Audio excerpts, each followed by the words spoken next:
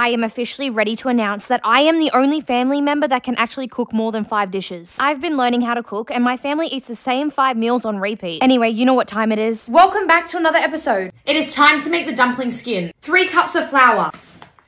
Three. One cup of warm water. Ooh.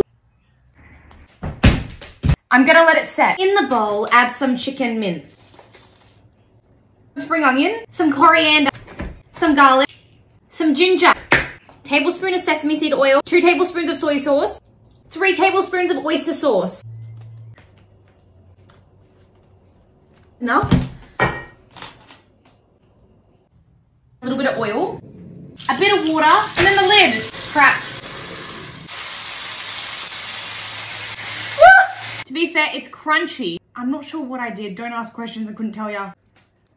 Believe it or not, it actually tastes half good.